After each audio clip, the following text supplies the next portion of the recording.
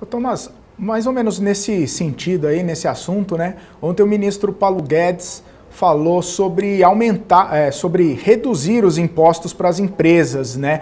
É, mais ou menos na linha contrária aí do Joe Biden, falando que ia, iria aumentar. O, o, Paulo Guedes falou que aqui no Brasil, por mais que os Estados Unidos estejam aumentando os seus impostos, aqui no Brasil ele tem intenção de reduzir os impostos para as empresas e aí fazer um acerto ali é, com a tributação de dividendos, né? Inclusive para tentar dar uma regulada nessa situação. Você acha que se essas propostas acontecerem, é, pode acontecer de ser mais positivo é, para as empresas aqui para o mercado? Como que, isso, como que as empresas e o mercado reagiriam com essa questão aí de reduzir impostos? Quais os benefícios que poderiam é, ser impactados aí para a gente?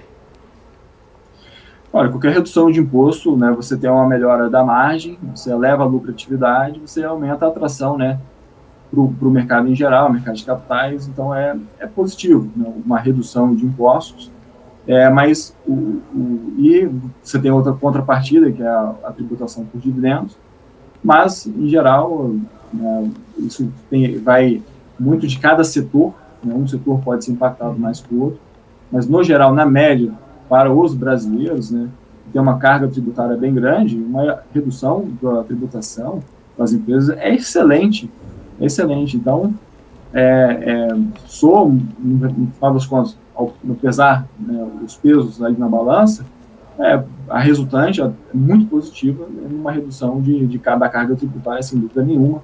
As empresas tenderiam a, a ter uma margem maior, contratar mais, gerar mais empregos e volta aquela, aquele ciclo virtuoso da, de uma economia.